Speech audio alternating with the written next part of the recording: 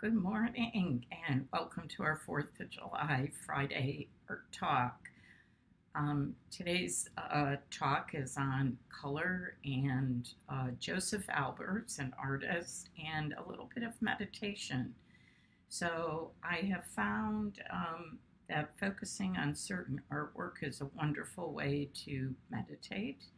And I'd like to share something that I found on uh, one of the museum sites. So if you look at this painting, it's obviously um, a variation of different colors, and it was created by artist Josef Albers.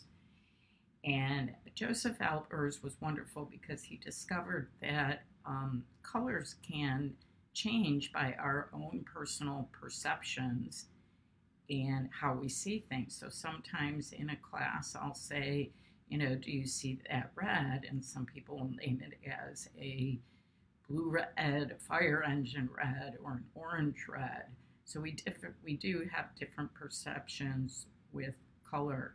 But there's um, also Itten, I-T-T-E-N, who also played with colors and discovered that you can place the same color next to a different color and it will cause a different effect in your painting and the way it is perceived.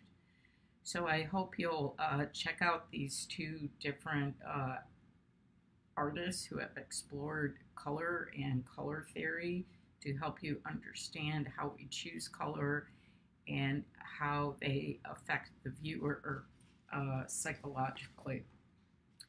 So, um, you know, I always teach some uh, new meditation practices in my breath brush and meditation class.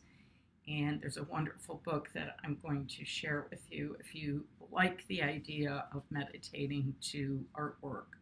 So take a few moments to just observe the painting. And I always suggest that your feet are planted. Uh, on the ground and that you have an upright uh, posture. And if you can, just to relax and just take a couple, uh, what I call belly breaths, um, and just breathe in and breathe out, breathe out, just to relax. Drop your shoulders. Um, try and relax if there's any tension anywhere in your body. So take a few minutes and just observe this painting. Allow your eyes to move from the white square in the middle out to the largest square and back again. Note the unique color of each square.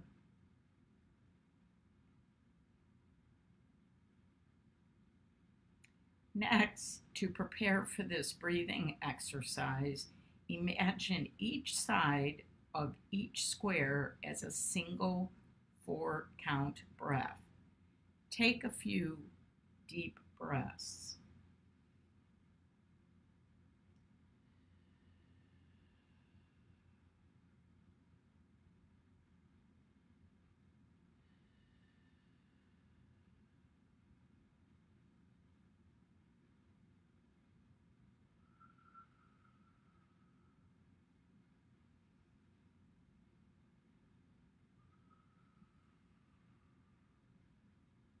Focus on one corner of the white square. Follow an edge of the white square while inhaling for four counts as you move to the second corner. Then hold the breath as you follow the second edge to the third corner. Exhale slowly for four counts as you trace the third edge. Then hold again as you trace the final edge, returning to where you started. Continue like this as you trace each square moving outward from blue to gray to green. Now close your eyes and continue to breathe in this way as you visualize squares of colors of your choosing. So you'll also notice that as you focus on the squares, they may vibrate, they may blend into one another. And this is what the color field artist really played with is that you go into the painting and it actually uh, interacts with your brain and your eyes and does some very fun things. So you'll have to practice this. You can repeat the uh, video and take your time breathing, inhaling and exhaling from each corner of each square.